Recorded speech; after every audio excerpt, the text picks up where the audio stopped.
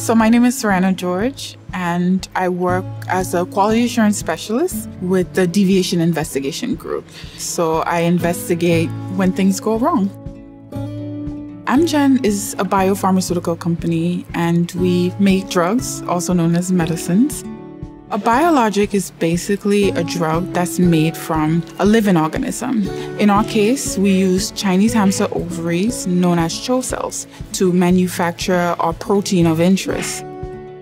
So, biologics are challenging to manufacture because they are sensitive to the environment in which they're being housed. So, any changes to processing parameters like temperature, flow rates, pH, carbon dioxide, dissolved oxygen can impact the cells and basically change the structure of your protein. At the end of the manufacturing process, you do an identity test to ensure that you have the protein of interest. If you don't have the protein that you would like to manufacture, basically, it's no good. You could not administer that to a patient. And it could be subtle changes.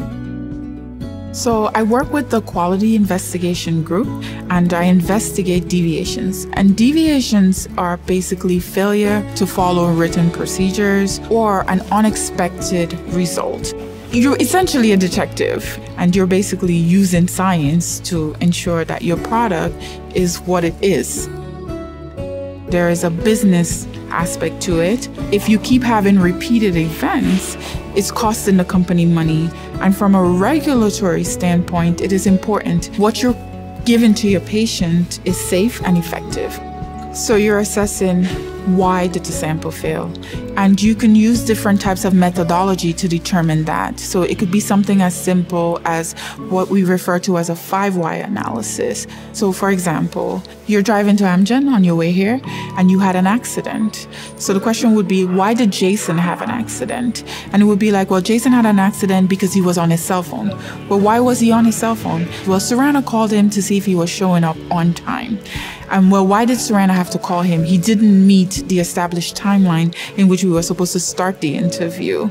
And well, why didn't he meet that? There was traffic coming out of Providence. Why was there traffic coming out of Providence? So it's that never ending question until you get to the root cause of the issue and then implement actions to prevent that from happening again. So it's not based on opinions, it's based on facts. And you know you got to the root cause in the case of a 5 why when there's no additional why in which you can ask. You have to be a people's person. You have to be able to get information from people and get it quickly.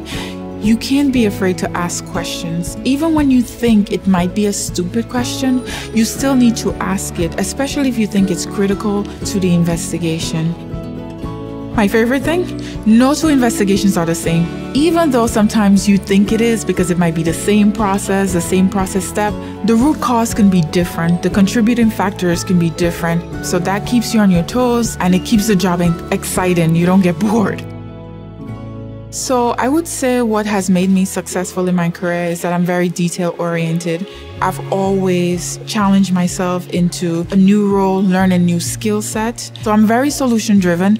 And I think it's not just in work, it's also outside of work. I think that's just me and that's how I'm wired. So, just having goals, things that you want to accomplish, definitely help to steer you in the right direction, or it would help you to find your niche, your passion, what you're interested in it doesn't necessarily have to be as formal and rigid as I need to find an internship at Rhode Island Hospital. It could be as informal as just data gathering to figure out if that is really what you're interested in. So it can be networking, reaching out to people.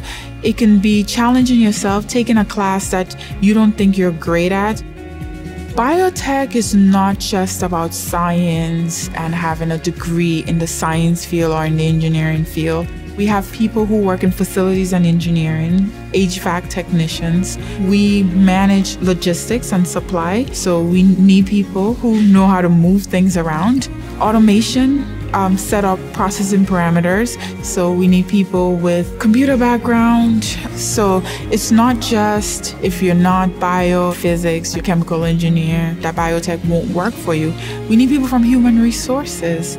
there's a whole lot of professions within the biotech industry that's not just centered around science and technology. The job here can be very challenging. Investigations are not always clear cut. There are times when it could be discouraging because you can't figure out what the issue is, or it takes time to figure out what the issue is. But any time for me personally that a patient comes on site and talks about the difference that our product makes in their lives, that perks me up. Even when I'm having like a challenging day, I was like, okay, let's focus here. You know, this is what we're working towards. So that has always been inspirational. Apart from the fact that I love science and I love technology and I love innovation, just knowing that you're putting safe, effective products out there that is impacting people's lives, it makes your work worthwhile.